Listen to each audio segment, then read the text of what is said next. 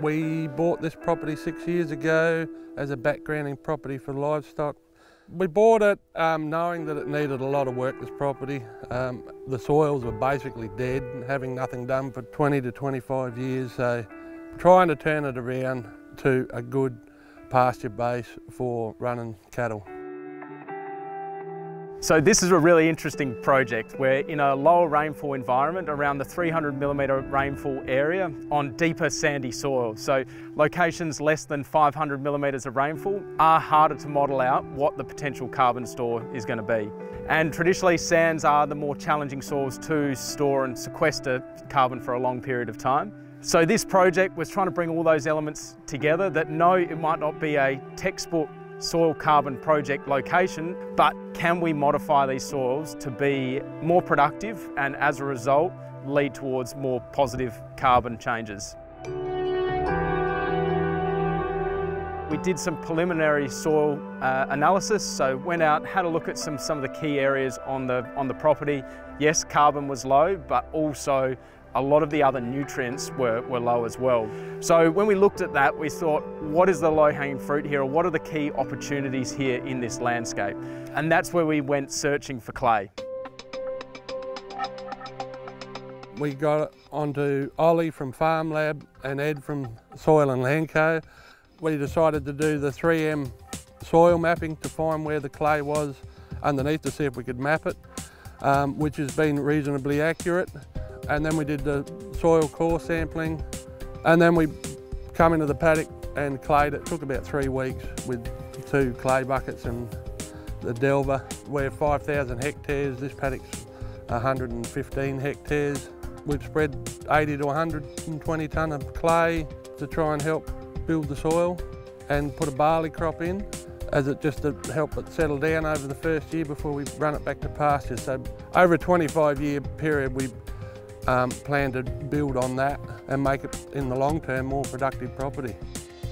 We've got less than 3% clay in these sands, so if we can get up, up above around 5 to 10% clay, we can start reducing that non-wetting, so we can start getting water in there. Then with that clay, we get some of the potassium, the magnesium, calcium, all sorts can be still stored in that clay as well, so we're bringing some of that nutrition up closer to the top. I'm hoping that once we get the paddocks with the pasture in and up and going and we just fertilise, put nutrition into them and look after them a bit better that uh, the, the cost won't be as high and they'll start to return a bit. But the first five years I think is uh, getting through that real heavy input um, cost and then hopefully we'll see it turn around and the soils build and the pasture when we came to Hawick, it was pretty quickly apparent that there's extremely good uh, bird biodiversity present on the property threatened species, so they're listed under national and state legislation as being threatened species. Also, the landscape context of this property um, with the adjoining Ngarkat Conservation Park and nearby heritage agreement areas means that it's really important as a buffering habitat and a connecting habitat for, for bird life. And the reason that's important in association with the carbon project is that you can actually get a premium on your carbon price if you can also point to elements of your property management that are supporting biodiversity or improving biodiversity or where there's existing good biodiversity values. There are parts of the value chain, um, you know, buyers, etc., that will be looking for those sort of um, elements from their producers um, so that they can point to them and say, we're working with uh, farmers who have sustainable practices in mind and are providing important value for the broader community in terms of biodiversity protection.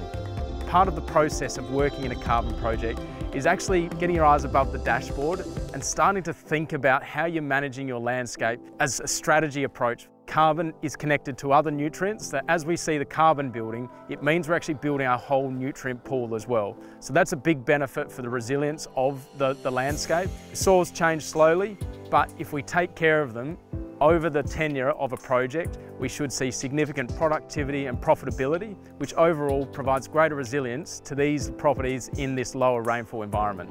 The soil carbon is an extra benefit um, and hopefully over the 25 year lifespan of the carbon project, it will pay us back financially with the return from selling the carbon credits. The biggest challenge is to be able to keep the carbon in the soil keeping a ground cover, so building a decent uh, pasture, long-term pasture to keep the ground cover on is, the key to it, to keep the carbon in the soil. A lot of producers are concerned at the moment about sustainability requirements and carbon requirements, etc.